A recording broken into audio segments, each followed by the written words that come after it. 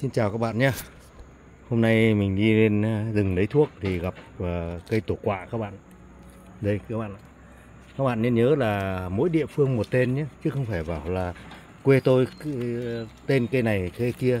Nhưng quê mình và nhiều nơi khác gọi cây này là cây tổ quạ. Ôi mày lại đi qua ờ, bác đang quay. Cây này là một cây mọc ký sinh trên các cây gỗ hoặc là trên những tảng đá to các bạn nhé, mà mát. Mà nó rất rất dễ sống các bạn ạ. đây các bạn xem. Lá nó mọc từ dưới củ lên nhé. Củ nó không được như củ bổ cốt toái đâu. Đấy. Cây này chúng tôi thường thường như này các bạn này. Tôi đem về là tôi bọc phong lan ở dưới nó phong lan bám vào lên tốt lắm. Còn thực tế ra mà nói cây này chúng tôi làm đây này. Cái lá Có một cái dây mua từ Nam nhà đây đây, cái lá đây, đây muốn từ đây. Phải không không phải lá không phải không phải. Ở đấy ở dưới chỗ lúc nãy lúc nãy bác bảo mày là, cái mút tưởng ở chỗ lúc cái cái han dưới.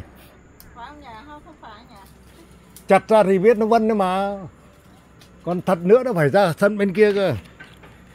Cây tổ quạ làm cây dùng làm thuốc nhé các bạn nhé. Làm thuốc khớp này.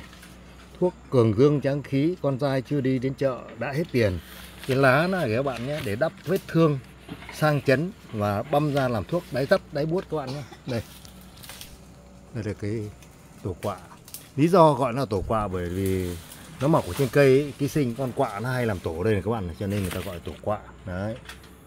Cây này. Còn cây cây này gọi là cây giấy leo các bạn nhé. Đây giấy leo. Cây này dùng chữa khớp các bạn.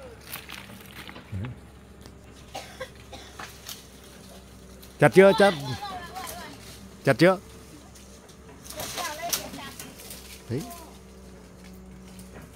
con khỉ đấy các bạn.